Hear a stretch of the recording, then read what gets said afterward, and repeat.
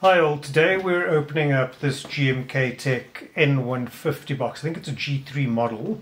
Um, box came from Amazon, a little bit damaged, was $180. It's got 16 gigs of RAM and a 512 gig SSD and it comes pre-installed with Windows 11 Pro.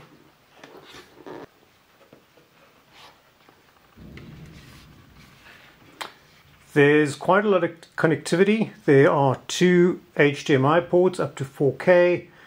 There are two USB 3.2s on the back. Um, there's another two on the front. There is a 2.5 gigabit Ethernet port and a headphone adapter. That's for the power. It takes, I think, 12 volt power. Overall, the box is pretty light. It's It feels a little bit plasticky, but um, I guess that's part of what makes it so light.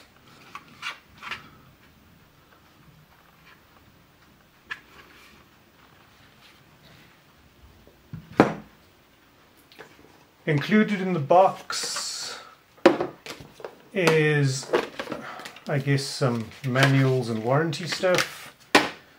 And an HDMI cable and a wall mount plate. I guess if you want to stick this thing behind a desk or behind a monitor on a VESA port, um, this is quite handy. I won't be using it. And a power supply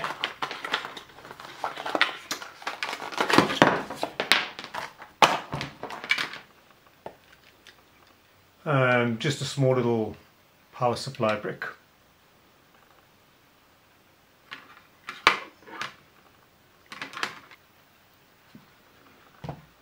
The whole thing weighs only 260 grams, or for those of you working ounces, 9.15 ounces. Let's open it up to see what's inside. The lid just pulls off, just like that and inside you can see the memory slot and the SSD there's an expansion slot. And that's about it. Very simple very neat very compact. There's a fan at the bottom. Um, in case it does get hot it cools itself down but let's boot it up and see how easy it is to set up. Trying out the ports. They're a little bit stiff and clunky. Not the smoothest experience. I guess the flip side is that you don't feel like it's about to come loose. And it's kind of the same feeling with the USB. Just a little bit sticky but um, quite secure. So here we're booting it up. It takes a couple of minutes to get going. The Windows logo pops up and then it comes up with the settings for the machine. You need to pick a language and a location and a keyboard layout. You can skip the secondary keyboard. Then you need to review and accept the terms and conditions I don't know if anybody ever actually reads these. And then you need to create a user. Now, I like to create a local user as my admin user. And to get Windows 11 to do that, the easiest way is to leave the computer off the network while you're doing this initial setup.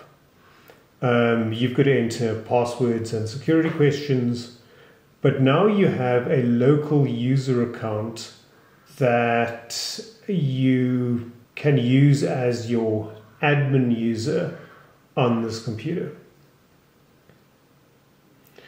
It'll now go through its user setup process, which you're probably all quite familiar with.